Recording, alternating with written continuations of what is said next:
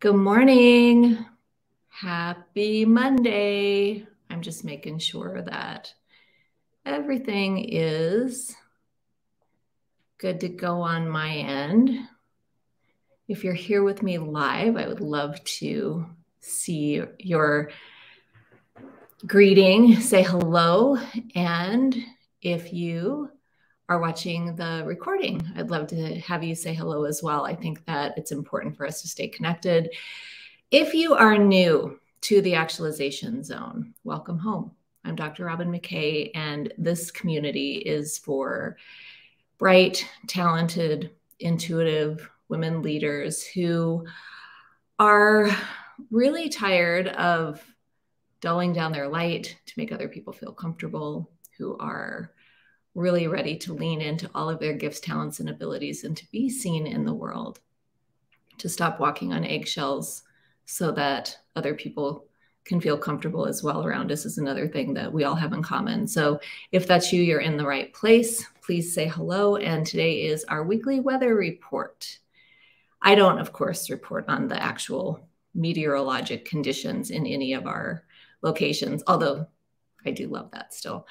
Uh, what I look at are non physical influences that we can harness, take advantage of, just be aware of this week as we as we head into the week, uh, so that we have the support, the energetic support, in order to make shifts in our lives, in order to do our best work in the world, and so on. So that's who I am. That's why we're here together today. And today is, by the way, September 19th, if you can believe it.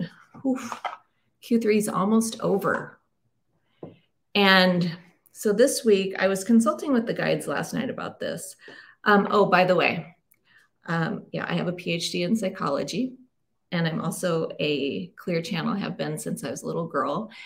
And I have my methodologies always bridge science and spirit, reason and intuition, logic and emotion and so on and they have forever. And so i like to use oracle cards as a way to kind of anchor in the information that is going to be coming through today.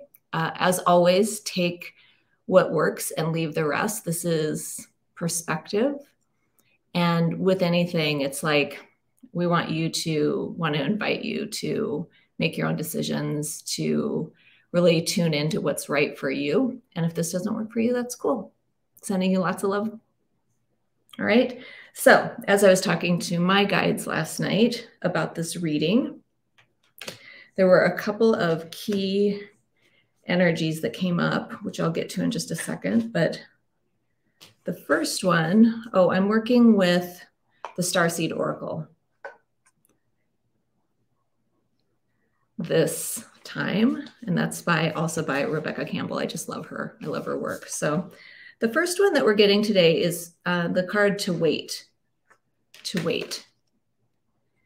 Um, one thing I know for sure about smart, talented women leaders is that we have a level of impatience that is quite pronounced. And as a visionary, which you quite likely are a visionary, um, one of the great challenges is to be able to see something in your mind's eye and then to not have it immediately materialize a la I Dream of Jeannie into your physical experience. And yet, the 3D world that we're living in is a pretty slow moving energy.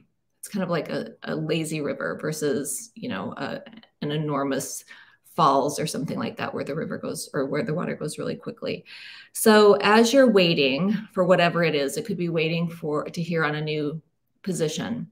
It could be waiting to line up with your divine life partner. It could be waiting to um, call in your ideal clients. It could be waiting for something else, waiting for something else to materialize, whatever that is. Um, what what occurs to me about that is that sometimes things are not always in your control. A lot of times, actually, things are not always in our control. We are actually co-creators in this universe. We're not solely in charge of our creations, and um, what that message is really about is to remember that things are being woven behind the scenes that will be very supportive of whatever it is you're wanting to materialize or actualize into your life. So, as you're waiting, it's not with It's not with the attitude that you had when you were a little kid when your mom told you, oh, just be patient. Just be patient. What it means is to stay in the creation, stay with the creation. Just like a farmer, after she tills the, the ground and plants the seeds, has to wait for the harvest. She doesn't ignore the field. She doesn't ignore the crops. She waters, she weeds, she blesses them. She checks the weather reports. She does all the things that are associated with the with the harvest, but she still has to wait for the harvest. And so too is the case for you. So continue to water your seeds. Continue to hold the highest and best outcomes in your mind's eye. Continue to do the things in the service of your heart's desire. And just remember that if it hasn't materialized yet, that quite likely there are some things that are being woven behind the scenes that will be very supportive of you. So that's the first thing. The second thing is this. This is um, something that just is a really important reminder this week. It's the courageous peony. Can you imagine that big peony flower over your head? But the courageous peony is about a reminder of this. And this is so important for our community. Remember that you're multifaceted. Remember that you have a very unique nature and we see that in the personality assessments that I've given women like you forever is that we have very unique personalities in the population. We have to remember that. We have to remember that we're multifaceted. And above all, because of those things, it's time to let yourself be seen. Now, how does that how does that play out? Well, oftentimes with with smart intuitive women like myself, like you, we're so good at figuring out what other people need from us in order for them to feel better that we just do that. I call it the chameleon syndrome. We kind of become a version of ourselves that fits the situation or the circumstances. Well, the time for the chameleon is over. It's now, I would say, chameleon season is over and it's time for unicorn season to begin. You're a unicorn and or a peony, if you will.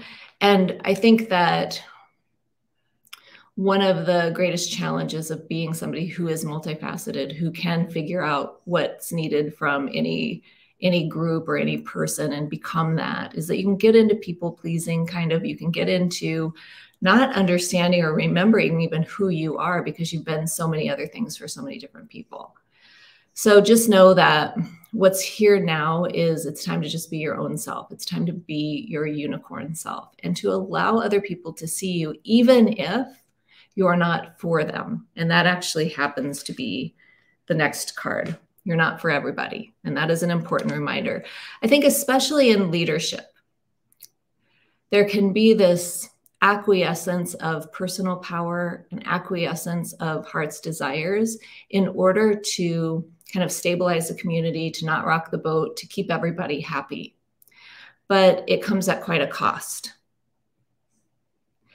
And one of the things that I've had to learn across the time that I've been in leadership, and maybe you can relate to this, is that at some point you have to be willing to not be liked. At some willing, you have to be, at some point, you have to be willing to piss people off for the for the highest good of the project for the highest good of the vision sometimes you're not going to be the popular one on the block and it can be painful especially if you've got adhd and you've got some rejection sensitive dysphoria um, it can be a difficult path to walk and yet it is an important one because unless and until you do so the fullest expression of your life of what you you came here to do is not going to materialize. So all of those heart's desires that you have will be sitting out in the ethers waiting to be brought in. But unless and until you make the decision to allow yourself to be seen, to remember that you're not for everybody, you're not Nutella. Not everybody's going to like you. And be okay with that. Be okay, be comfortable in your own skin about how you're showing up in the world. And as long as you can sleep with you at night, which obviously you have to do, as long as you can sleep with you at night, I think that's the that's a really key component to being okay with people not liking you. Worrying about what people think of you. I could be worried about that. I could be worried that, you know, here she is, she's got a PhD in psychology and she's using Oracle cards. who does she think she is? Well, yeah, I have a PhD in psychology and I use Oracle cards, both and. I'm multifaceted. And if somebody thinks that, then they're just simply not for me and I'm not for them. The harmonics are off. But if you're here with me, and maybe you don't have a PhD in psychology, but maybe you're an engineer or you're a physician or you're some other kind of professional, highly educated person, and you happen to like Oracle cards, that's your place. That's this is a place for you. This is home. Let's see, last one for the week. I'm just shuffling.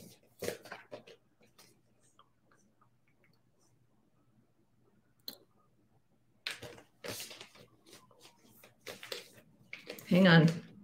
Okay, here we go. These are both portal cards.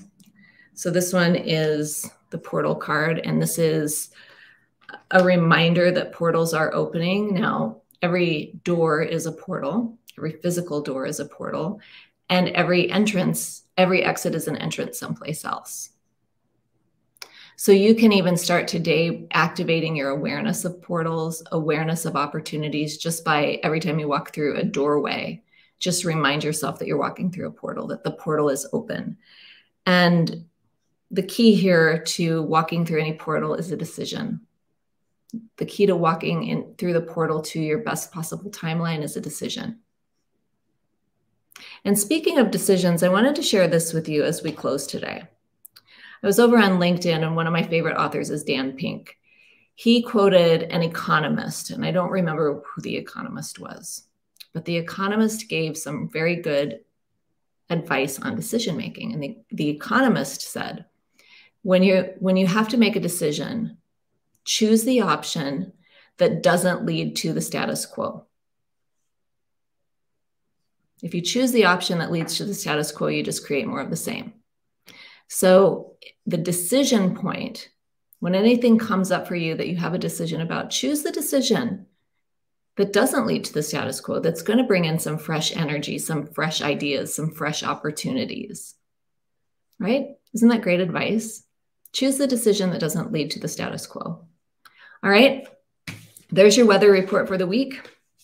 If you found this helpful, I'd love to hear from you in the comments, or you could take a screenshot of this, tag me in the post, and share it with your community because we are a grassroots community that is always open to inviting more people like you and me into it to welcome them home as well to this beautiful actualization zone. And if you're not a member of the actualization zone, because you're watching me on YouTube, go over to Facebook and type in to the search bar actualization zone. It'll pop right up. There are a couple questions that you'll have to answer, and then we will be joyfully welcoming you into the community of intelligent, intuitive leaders who are ready to create a new world for themselves and other people. I'm your host, Dr. Robyn McKay, and I will see you next week.